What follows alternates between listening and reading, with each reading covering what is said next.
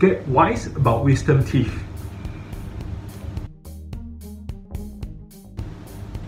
Your mouth goes through many changes in the lifetime.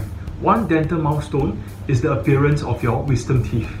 Wisdom teeth are the third molars that commonly come in around the ages of 17 to 21. These extra molars can be beneficial for chewing when they are healthy and when they come in at the right position.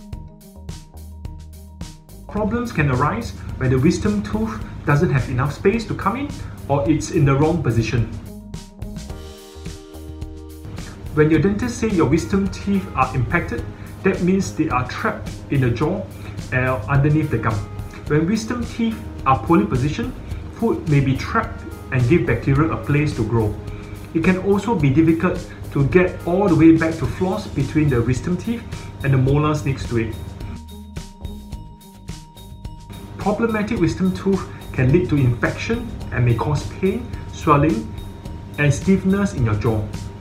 It can damage the root of the adjacent tooth or destroy bone support around the tooth.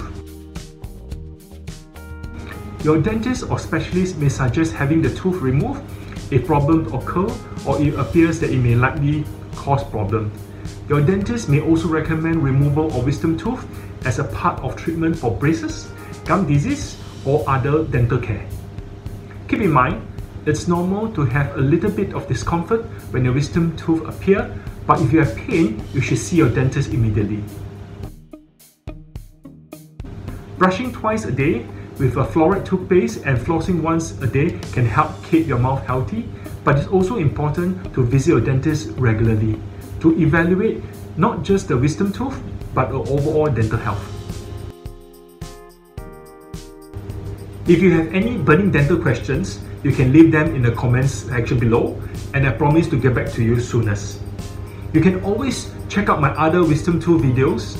Please subscribe to the channel if you have yet to done so and smash the like button. This is Dr. Tristan Peh and I look forward to seeing you in our next video. Thank you and stay safe during these testing COVID-19 times. Goodbye.